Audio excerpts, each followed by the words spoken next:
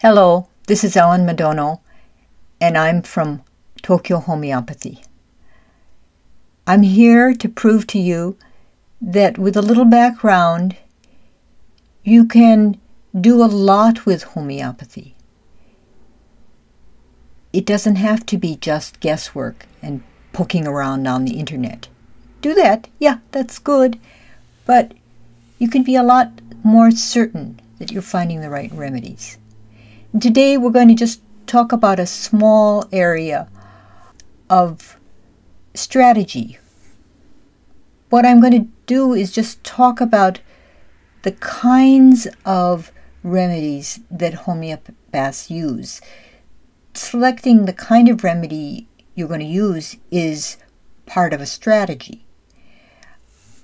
I'll go into further depth about this later, but this video is only about the types of remedies that we use, and the particular one that I'm going to talk about today is a nosode.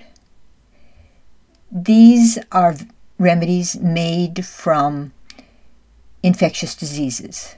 This could be bacteria, it could be viruses. We're all uh, very acquainted now with the coronavirus.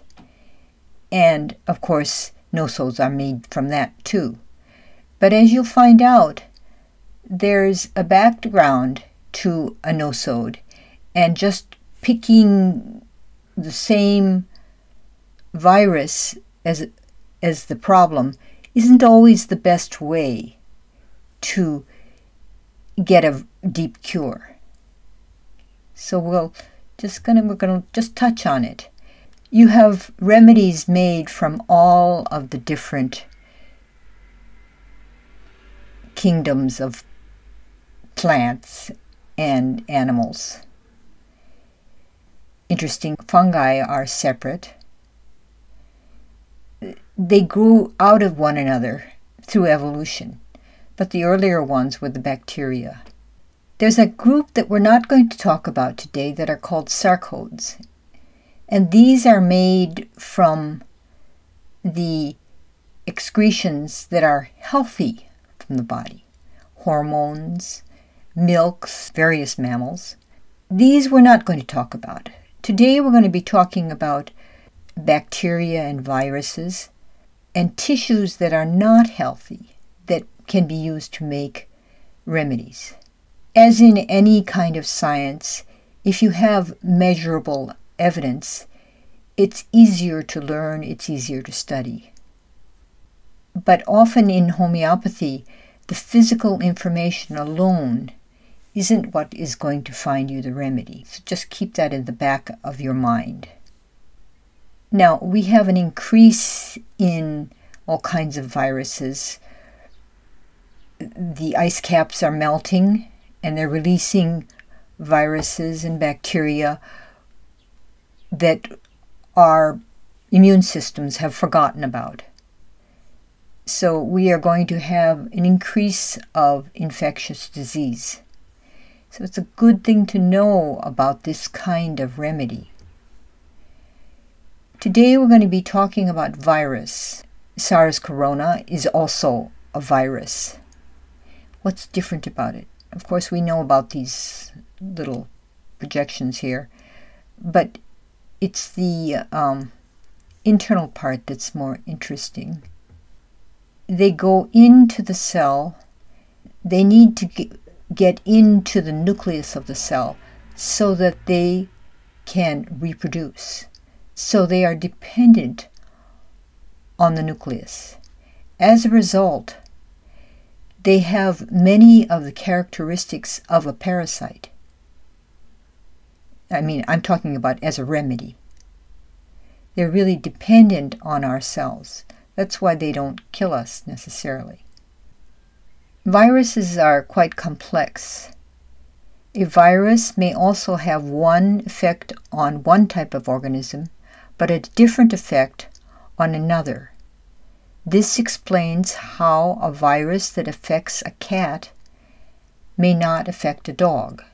This is just plain science. Viruses vary in complexity.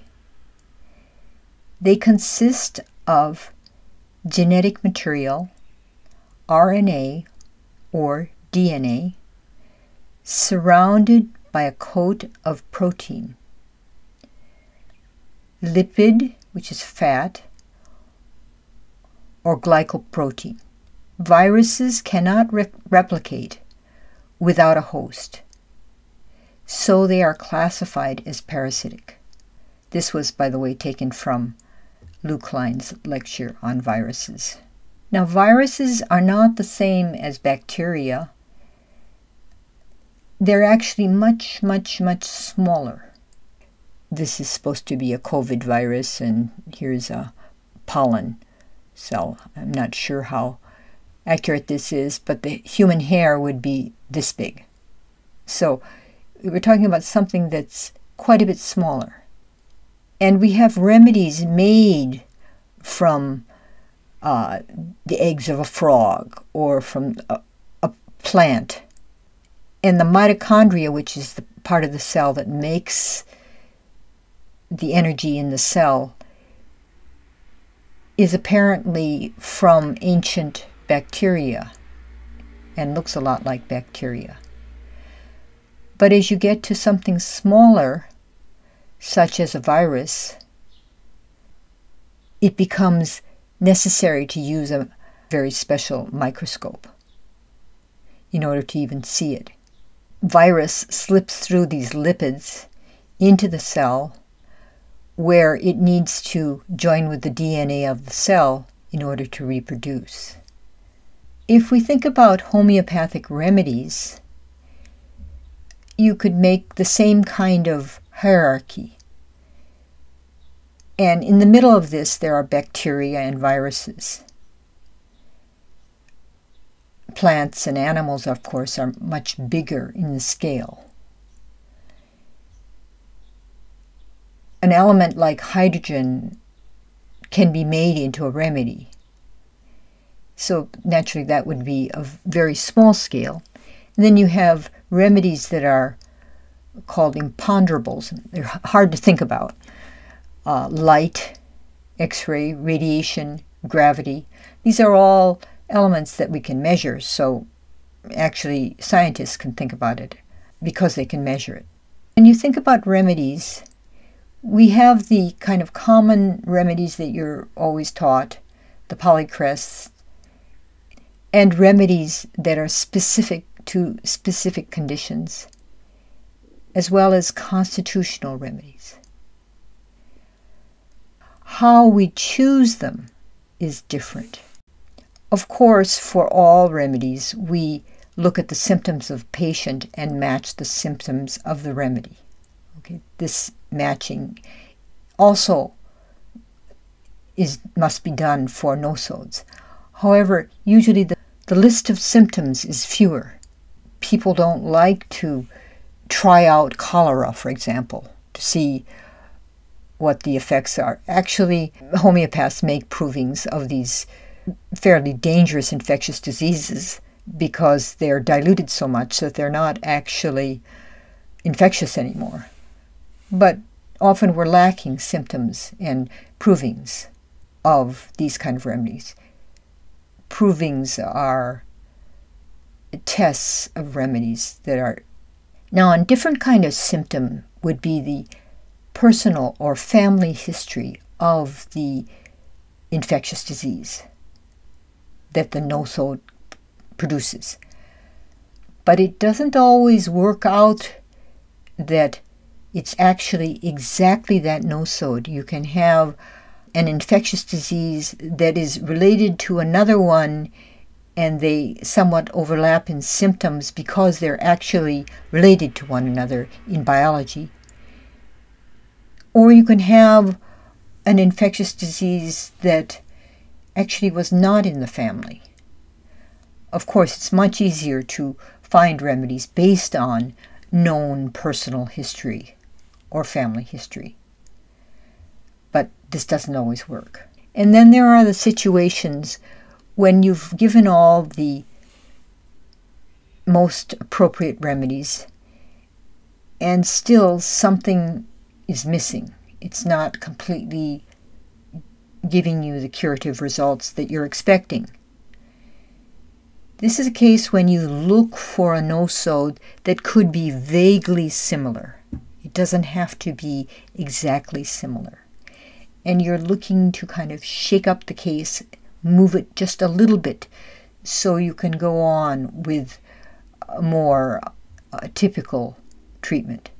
Now, this is a graph that um, Lou Klein did in his lectures on homeopathy. He has a wonderful lecture series called Z Homeo, and I highly recommend it. I what I'm telling you here is often learned from him, although I may be wrong in my understanding. In this graph, what he's trying to tell us is that remedies are different in how specific the symptoms should be to choose them. What I was talking about, the well known polycrests that have many, many tests, many, many provings, and they've been clinically confirmed over generations. Those are very specific, and you can go to the repertory and the polycrest you can certainly find, and the smaller remedies you have to know more about the connections between remedies, but you can find the smaller remedies too. But these are slightly different than the nosodes and the sarcodes that we're not going to be talking about, milk and um, hormones, that kind of thing. No, these are given on symptoms that could be uh, more they could be more vague, but also they could be broader. They're not the typical symptoms that you find in the repertory. And then there are these imponderable kinds of forces that are way out there, and they're based on universal principles. The old ones that Hahnemann proved, such as magnetism, can be found in the repertory, but many of them can't and we're becoming more and more aware of how important these forces that we're not able to easily see or measure, or only with very special equipment can we measure it. These kind of forces are actually affecting us in a very big way. Concerned with cell phones and that sort of thing is based on these imponderable forces. So you have the specifics of the polycrests, then you have epidemic diseases. A remedy like Medorrhinum is made from the gonorrhea bacteria. And it has been known since the time of Hahnemann, and before that, of course, you will find it in the Boenninghausen pocketbook, but it's very interesting to study it because from clinical experience, it is much broader and ver- much more varied than what you get out of the proving symptoms. So, because it has such a big background, we know a lot about it. Then there's something like the herpes virus, which is what I'm going to present more videos on that are not so well known. These are all epidemic diseases. They're all related because they're epidemic diseases. Sarcodes are not. Medorrhinum, you could easily say, is a polycrest because we know a lot about it. But many of these we don't. So many of these remedies that are in this category or in this category are new. So I turn this um, I had a hard time doing this, but I turned this graph the other way. You can see that the specifics tend to be, I mean, bigger. Um, not just bacteria, but plants and animals and things that you can put in your hand and see, touch.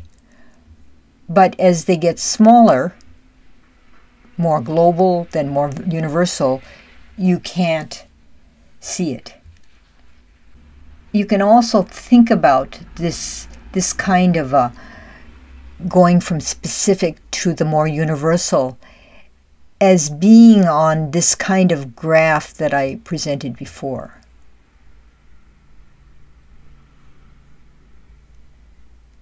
So, this is Ellen Madono talking to you from Tokyo Homeopathy. And I've been presenting nosodes as one strategy in homeopathy. I will have more videos that are more specific than this, but I felt if you had no background at all, this might be harder to understand. So, this is really for people who have no background in homeopathy but have a need to heal deep afflictions. nosodes are very valuable for this, and I hope you can make use of this kind of knowledge. Thank you for listening.